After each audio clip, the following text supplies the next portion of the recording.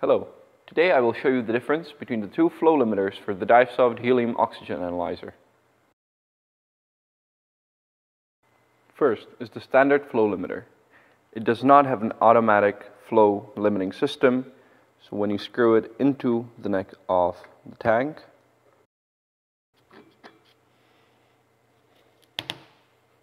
you have to adjust the rate of flow manually. When you insert the measuring hose and turn on the analyzer,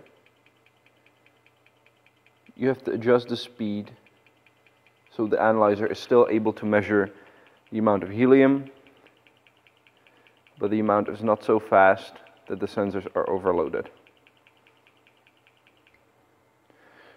When stopping the tank and closing it, you can either let the pressure release slowly by itself or you can open the relief valve.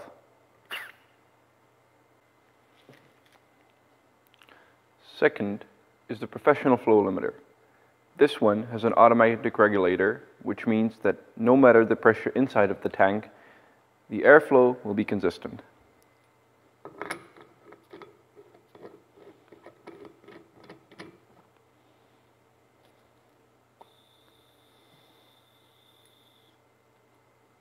This one is built for filling stations where you have a variety of tanks with different pressures.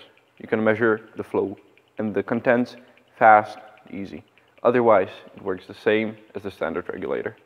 That means you can either, when you stop, you can either have the pressure release automatically or you can open the relief valve.